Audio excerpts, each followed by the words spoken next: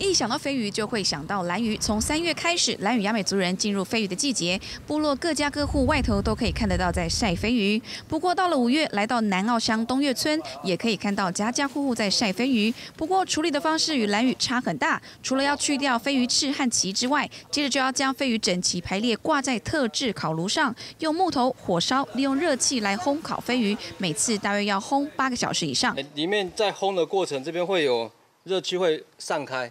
会散开散开，主要是这边开始散散散散散，然后那个那个上面是那个烟会从那出去嘛，所以我们主要是靠靠那个这里的热气，然后鱼的部分是我们会这样那个会颠倒，比如说这里烤好了的话，我们会再再用另外一边这样子。再仔细与蓝屿的飞鱼相较起来，东岳飞鱼体型比较小。族人表示，太大只的飞鱼需要烘烤太久，会选择大小与手掌差不多，是为了烘烤起来鱼肉熟度会比较平均。我们因为用太大的话，就就感觉是说，一方面是样子不好看嘛，一方面太大也不好不好烘，因为大概要要适合它的大小。比较小的话，烘的过程几乎比较可以平均；如果太大的话，其实烘的效果。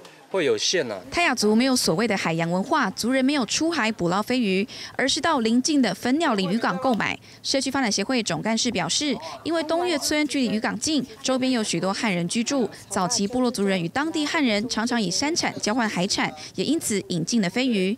东岳村的泰雅族语称之为 “dobio”，也就是飞鱼的意思，象征珍贵的祝福。烘烤方式唯一的调味料就只有盐巴，完成烘烤后可以直接吃，也可以搭配辣椒炒来吃。觉得部落独特的风味美食不一样吗？不一样，他们是晒太阳而已嘞。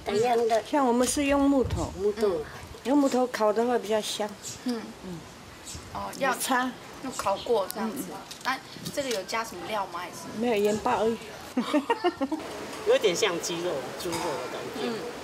还蛮香的，很好吃，很下饭。嗯。对，因为你们大概是有腌过，是不是？东岳村飞鱼盛产的时间在五月到六月，平时烤飞鱼很少对外贩售，都是与亲朋好友分享。延续至今，社区发展协会也与族人合作套装导览，推广东岳的飞鱼文化，也研发出真空包装，可以让游客带回家。记者阿布斯乌溜，宜兰南澳采访报道。